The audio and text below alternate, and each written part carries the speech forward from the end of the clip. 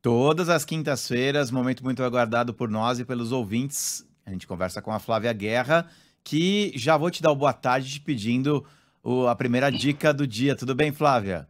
Tudo bom, Coutinho? Tudo bem, gente? Olha, eu começo com. Hoje vai ser dia de bastante cinema brasileiro.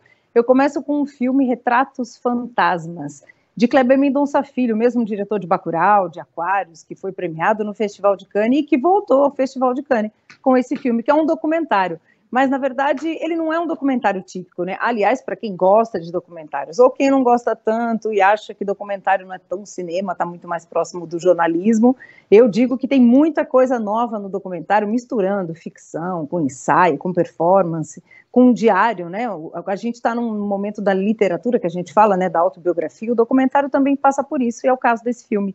O Kleber conta a história de cinemas de rua da cidade do Recife, de onde ele é, mas a gente pode se conectar sendo de qualquer cidade que gosta de cinema, que foi ao cinema na infância, que viu os cinemas fechando e que via lá os filmes em cartaz, né, nas salas de rua. Hoje em dia a gente vai muito mais em salas de shopping e a gente vai construindo, né, a história da nossa vida com a história dos filmes que a gente viu em cartaz. Então, eu não sei vocês, mas eu ainda peguei cinemas de rua, né, no, no, no momento bom em São Paulo. E eu gostava de ficar na fila, ver o que estava acontecendo na cidade, né? Tem umas memórias aí. Eu lembro quando eu fui ver Ghost, a fila dava assim voltas na Praça da República. E ele traz isso, só que no Recife, baseado também num, num diário da vida dele, porque ele conta a história da vida da casa dele. O Kleber fez o primeiro curto, o primeiro longa, o segundo longa, filmou muita coisa na casa e na rua em que ele mora, né? O Som ao Redor, que é um filme dele, tem cenas ali.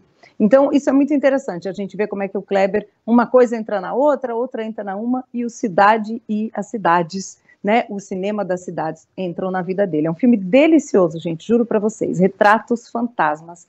Boa pedida nos cinemas do Brasil inteiro, que é a estreia nacional, viu, gente? E além de Kleber Mendonça Filho, temos também Festival de Curtas, Flávia. É isso aí. Eu destaco sempre o Festival de Curtas, o Kino Fórum. Ele acontece prioritariamente na cidade de São Paulo, né? Cinemateca, Cinesesc, Espaço Itaú de Cinema, mas ele também tem uma programação online, então é interessante ficar de olho. A gente tem como destaques aqui, para quem está em São Paulo, o único curta da história do Jean-Luc Godard, esse grande cineasta que morreu ano passado, e a história do filme que nunca existiu. Um filme super ensaístico. Para quem é cinéfilo e quer ver, né, quer fazer essas descobertas, fica essa dica aqui. Além de tudo, a gente também tem O Parto, um dos pouquíssimos filmes que José Celso Martinez Correia, que nos deixou há pouquíssimo tempo, realizou quando estava no exílio no, em Portugal durante a ditadura militar. Então, é uma raridade aí que chega para a gente assistir. Tem uma outra dica também que essa está online. Aí é para todo mundo de todo o Brasil. O Cine Sesc, né? Entra lá, sesquincasa.com.br. Tem programação gratuita com vários dos curtas, são mais de 300 países e mais de 50 curtas, gente. Vencedores de festivais aí pelo mundo todo, incluindo Cannes, Berlim, festivais muito importantes.